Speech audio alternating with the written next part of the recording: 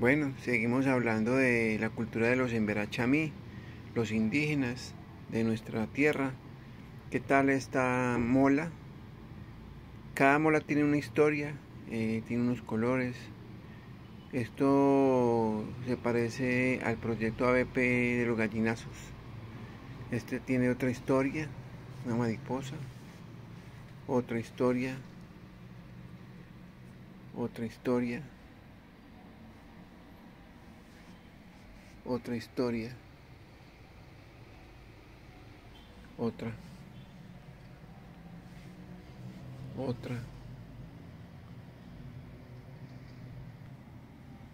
Bueno, ¿y qué tal de estas pintas africanizadas? Estas son unas blusas que son pintas africanas.